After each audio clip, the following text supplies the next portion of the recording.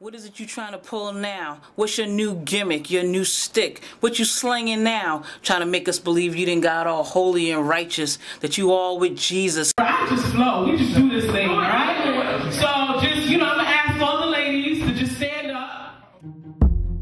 You ask me why Stilettos and a Book, and I say, I just want to encourage my sisters to embrace their femininity. I want to encourage them to also embrace the principles of the Bible. What better way to bring the two together than Stilettos and a Book?